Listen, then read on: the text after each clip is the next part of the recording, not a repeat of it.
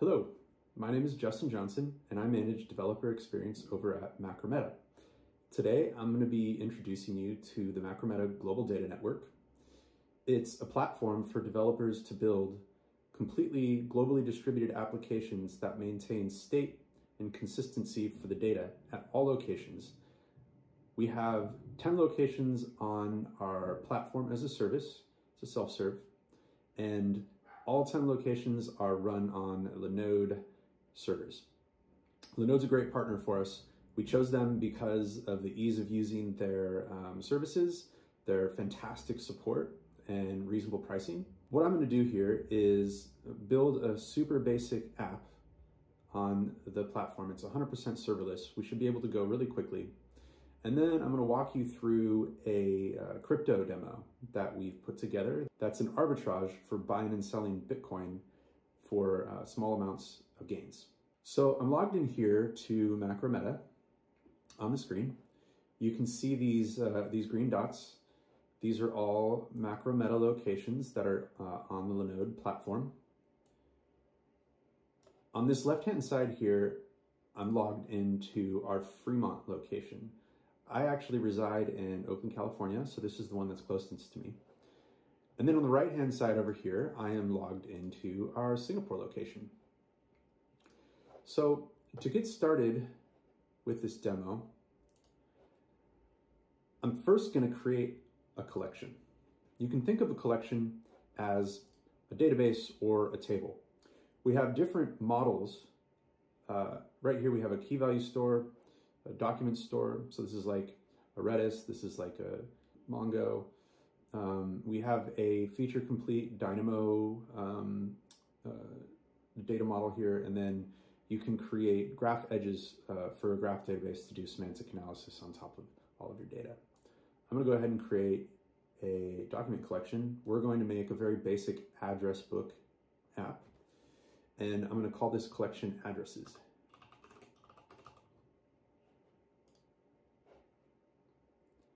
Great. So now what I'm gonna do is I'm gonna show over here that that address uh, collection, addresses, has been replicated to Singapore, um, just like that. Now I'm gonna go ahead and add some data to this collection. So I'm gonna go to our query editor here. I'm going to grab this. This is just a bunch of uh, addresses. Our query language is a combination of SQL with a mashup with some JavaScript. I'll get into why we have the JavaScript in there a little bit later. Right now, I'm gonna go ahead and run this query. So this array here means that we got a 200 and we actually wrote all this data to our addresses table. Go over here in addresses. You can see that our data did write. Check over here got it in here too. So now I'm going to go ahead and query this data. docs and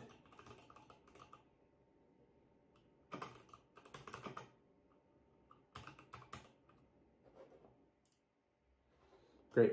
So this query uh, just returned all the data that I had in there. And go ahead and look at the uh, uh, results here runtime, execution time, we're looking wicked fast. Now what I'm going to do here is I'm going to create a query worker. A query worker is a saved query that is cached to all locations. What it allows you to do, let's call this get addresses.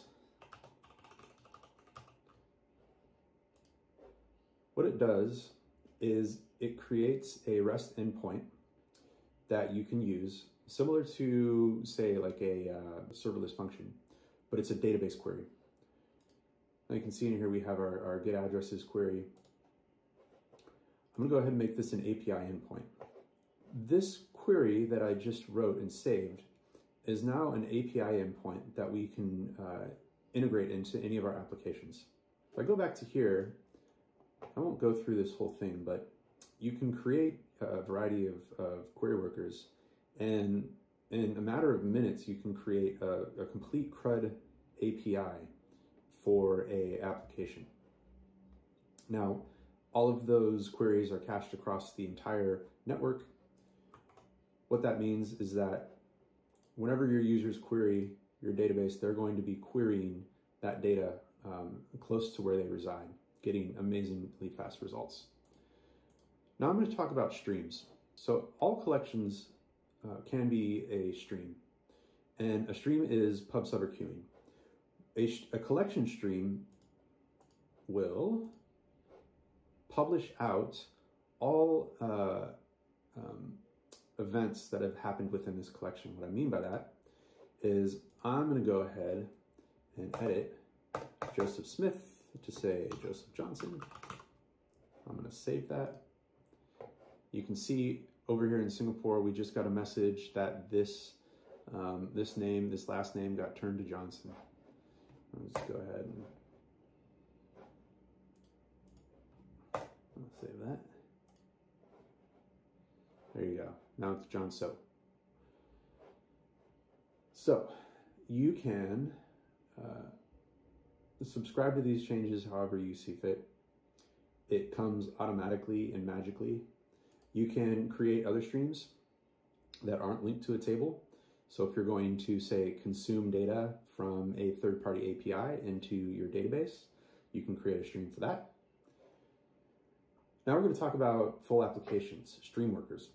So stream workers are programming against uh, all the services that we have. So it's a combination of uh, queries, streams, and then you can do complex event processing on top of that. And this is where we're going to talk about this crypto trading app.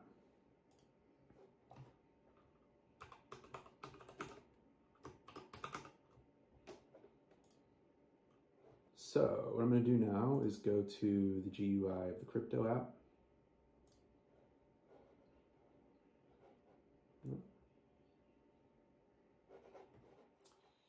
Great.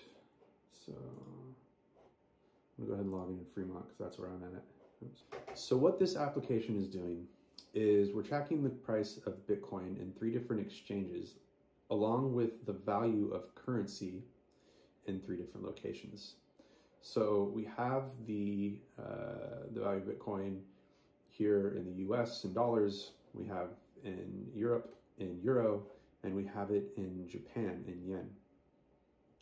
Now, we're tracking these changes so that we can make microtransactions from a single wallet so that when the value of the, say, dollar and yen and Bitcoin fluctuates so that the value of yen is lower than the value of the dollar, then we could sell uh, uh, some dollars and buy with yen, um, basically making uh, a bunch of microtransactions to make money, an arbitrage. You can see all the data coming in. We also have uh, Macrometa search here. I'm to walk through um, the code. Now this, uh, it's really important to be as fast as humanly possible here because these changes happen quickly.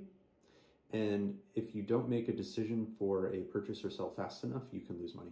So this entire app, maintaining state across three locations in the world, is built in about 160 lines of code. This is where the JavaScript comes in.